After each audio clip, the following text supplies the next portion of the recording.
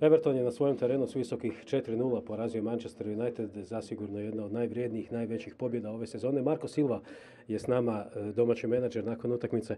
Marko, congratulations. Excellent game for you.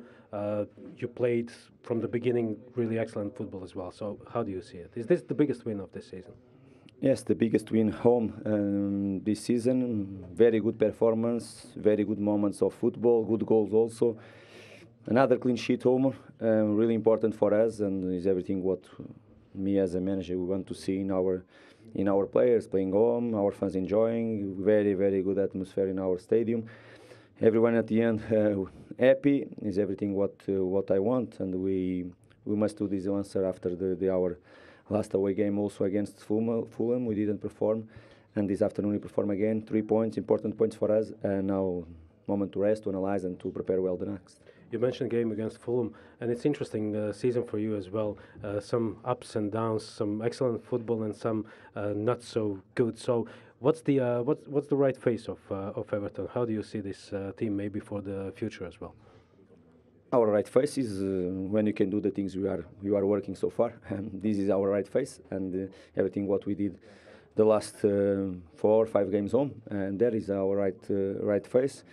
Um, and our our goal and my aim is to keep doing every single week. But you know, the competition is everything. It's important to understand the competition, even if I want every match the same thing. Competition is really hard.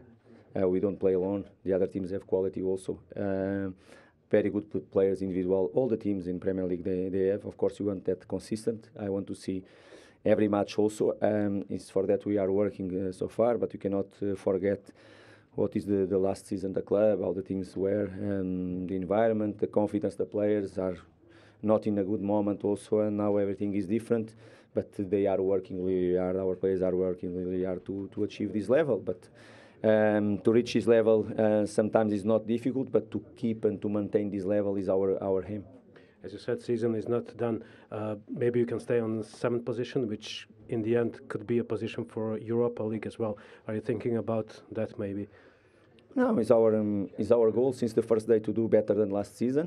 Uh, we know the position the club uh, we finished last season. Now is a moment for us to to prove and to to do better than the, the last season. Was our goal since the first day of the season. Keep keep doing being our goal this uh, during this moment. We have to keep proving our quality, to keep working hard to achieve what we want as a as a team, and after in the end we'll see the position at the table. In the end, since this is going to Croatia, I have to ask you something as well.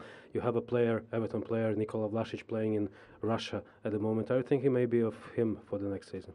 Yeah, you keep thinking on him. When we when I spoke with him and we we planned for him to go on loan, uh, was so clear. It's for him to play more and more and more to show his quality. We keep uh, following him all the match. We keep following, doing our our work behind the behind the scenes, and of course we'll take one decision. But of course we are happy with him playing every single week because it's what we expect, and because that we he made that move and we made that move also.